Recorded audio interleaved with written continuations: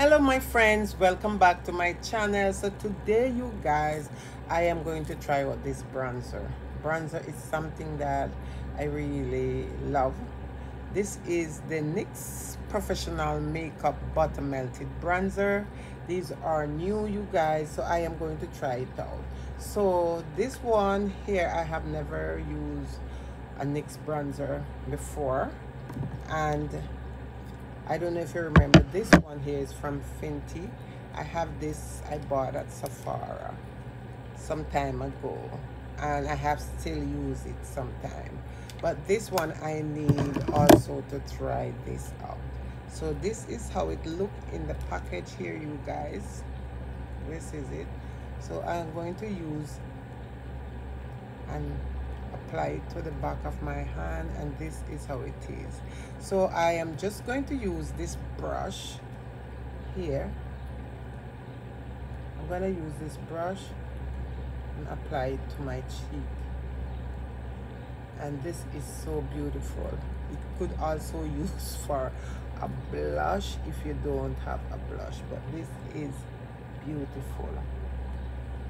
They have light they have also lighter shade in these bronzer.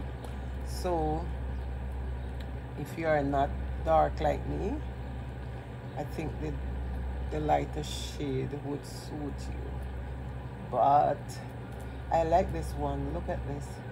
It's real it's a matte bronzer but it is so beautiful on the skin. Very beautiful on the skin. And you can see how it is here so you can see there. And I'm just trying out the bronzer today. And my cheekbone here it's blend out pretty good. And it looks beautiful on the skin you guys. These are the type of bronzer that I like. I like dark bronzer. I don't like bronzer that when you apply it you do not see the result. But this looks so nice. Could almost use as a blush. It has a reddish undertone on me. So you have to be like dark like my complexion and you don't have to use a lot to use this. But I like it. It's really um, it's really applied really really nicely. I'm just gonna put some also on my nose here. Look at this you guys it's beautiful.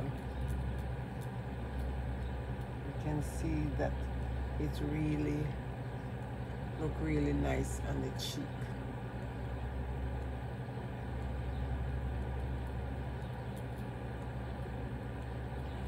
so this is it you guys is the butter melt bronzer and it come into 17 I think is it? 17 ounces. Really really nice. Look at this. OMG it's so beautiful. And as I said this is the swatches here on my hand. I really love it so thank you again for watching and if you're not subscribed please do subscribe. And i will see you in my next upload. Bye for now